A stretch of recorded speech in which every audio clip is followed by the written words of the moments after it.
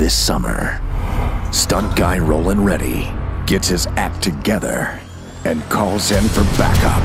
Better buckle up, because we're blowing stuff up.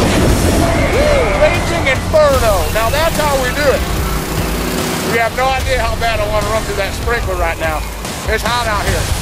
But Rolan is on a whole other mission, Hey Neil, you got 25 seconds to talk to a redneck rocket scientist?